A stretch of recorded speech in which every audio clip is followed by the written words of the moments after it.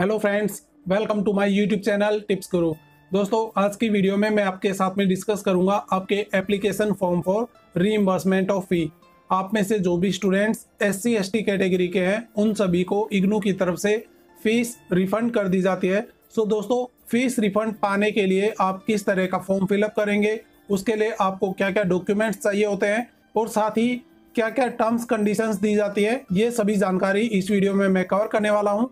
सो दोस्तों स्टार्ट करते हैं। आप यहाँ पे देख सकते हैं, आपके सामने ये आपका फ़ी रिइम्बर्समेंट के लिए फॉर्म है। दोस्तों, यहाँ पे इस फॉर्म में आपको अपने सभी डिटेल्स सही से फिलअप करनी होंगी। ये सभी डिटेल्स फिलअप करने के बाद में आपको अपने सभी डॉक्यूमेंट्स इग्नू के रीजनल सेंटर भेजने होंगे। दोस्तों, यहाँ पे आपको अपने खुद के रीजनल सेंटर भेजने होंगे।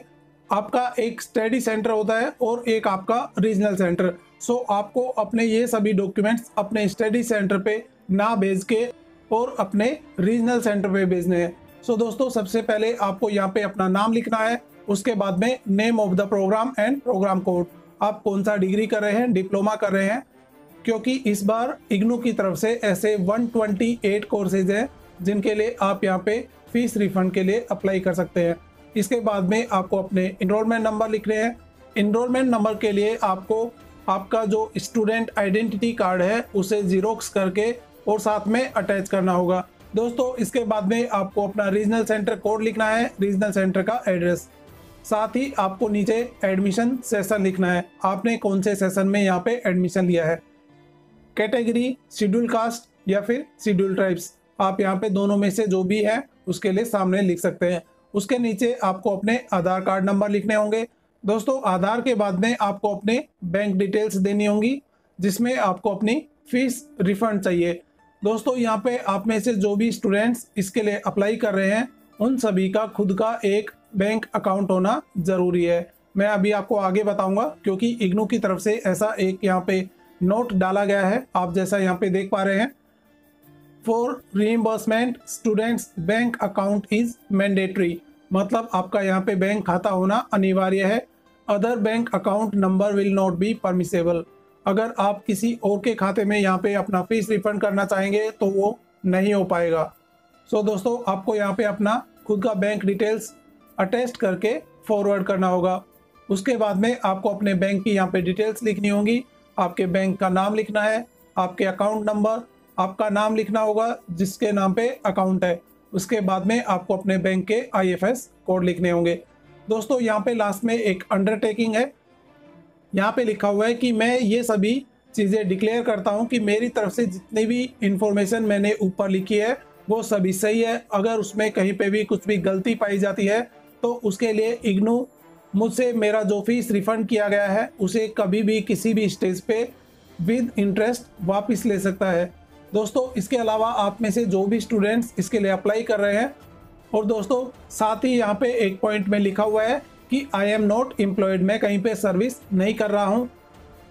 थर्ड पॉइंट में लिखा हुआ है कि मैं किसी और संस्था से या फिर किसी और इंस्टीट्यूशन से अपना फ़ीस रिफंड या फिर स्कॉलरशिप नहीं ले रहा हूँ।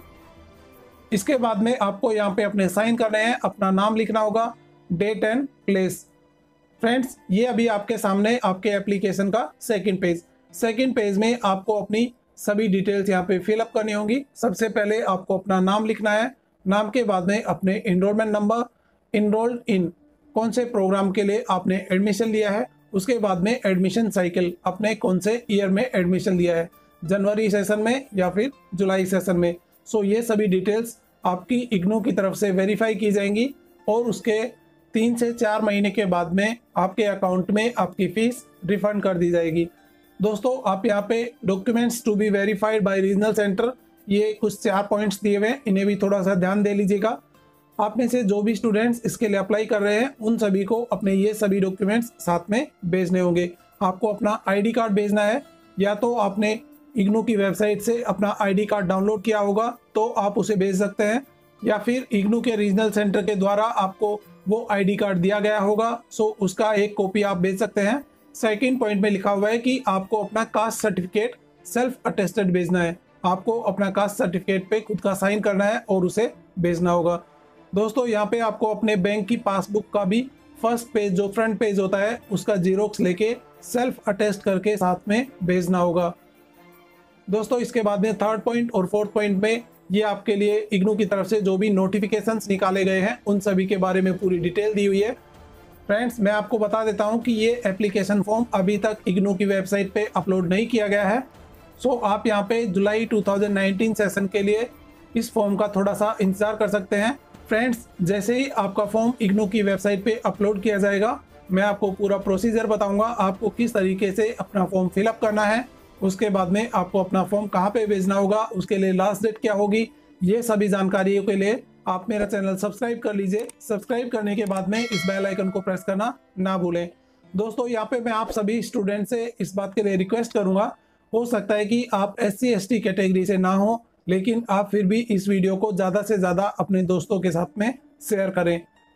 हो सकता है कि आपके कोई फ्रेंड जो एस सी कैटेगरी के होंगे, सो वो यहाँ पे इसके लिए अप्लाई कर सकें। सो दोस्तों, इसी तरह की और वीडियोज़ के लिए please subscribe my channel and press this bell icon thank you friends keep watching tips Guru